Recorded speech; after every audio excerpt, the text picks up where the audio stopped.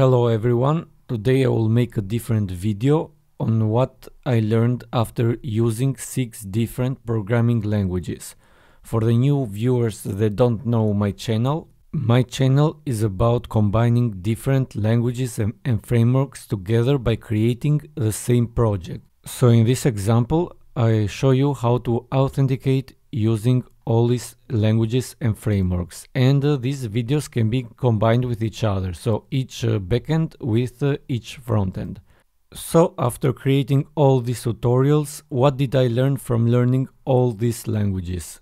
The first lesson is uh, maybe obvious that almost all of them can achieve the same goal. So in the example that i just showed you we authenticate using all these languages and the end result it is the same. Also for the other projects that I create here. Also you may ask that uh, none of them except JavaScript can be used in the frontend, but we have technologies like WebAssembly that uh, can convert some of them like C Sharp, Go, Kotlin to the frontend as well. So I don't recommend using it that way, but for every problem there is a solution, so almost all of them can achieve the same goal in the end. The second lesson is learn the basics with one language before moving to the next one. So you may ask a question, how did I learn all these programming languages? The reason is that I mastered one or two in my case, two programming languages, PHP and JavaScript, I learned how to create simple websites and then on my career I worked with enterprise applications serving millions of users. After a lot of years of experience, for me it was really easy to transition to these other programming languages. The same will go for you if you want to transition to a new programming language. Make sure to know at least one programming language very well. I also recommend learning more than one language because my third point here is learning multiple languages will make you a better developer. Not only you will have more career opportunities if you learn multiple languages, but also you will learn more about your previous language if you learn a new language. What do I mean by that?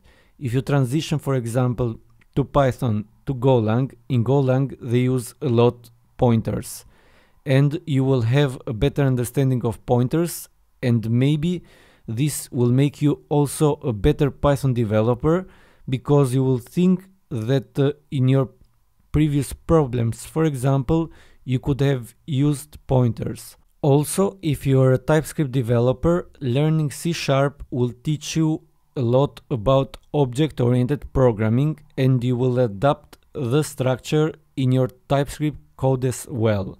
So that's why I recommend learning multiple languages. The fourth point is each programming language has a different learning curve. So if you want to uh, learn a new programming language, make sure to know about also the learning curve because some programming languages are easier to learn than others. For example, in my case, the easiest to learn are Python and JavaScript, medium difficulty are Golang and PHP, and the hardest to learn are Java slash Kotlin and C Sharp. So one of the reasons that uh, Python and JavaScript are the most popular programming languages is also that uh, they are also super easy to learn. That's why I included them as the first one. Golang and PHP are also very easy to learn. At least in my case, I found it uh, very easy to learn both of them, but I included uh, them in the medium difficulty because uh, they include st strict typing. Golang is a strictly typed language compared to Python and JavaScript. PHP is not strictly typed, but in case uh, you learn PHP, uh, most likely you will use a framework like Symfony or Laravel and they use object-oriented programming and strictly typing, so I included PHP in the medium difficulty level. And the hardest one are Kotlin and C Sharp. Those are strictly typed languages. that also force object-oriented programming. So you will have a longer learning curve if you learn these languages. The last point is also my opinion that I prefer write time over runtime. So what do I mean by that?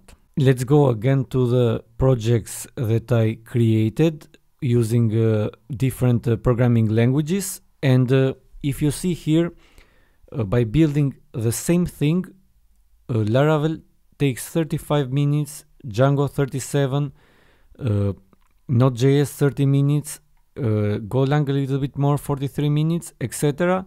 But if we go to C Sharp and Kotlin, they are 56 and 55 minutes. So if we compare C Sharp with Node.js, is almost double the time to make the same thing because C Sharp and Java have a lot of configuration and uh, it takes a lot till you get started.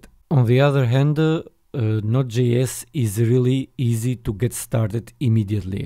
So in case I get a freelance project where the client doesn't care about the programming language, I would choose Node.js over C Sharp and Java because I will create the project faster. But this is me and uh, in your case I recommend uh, using the language that you know best.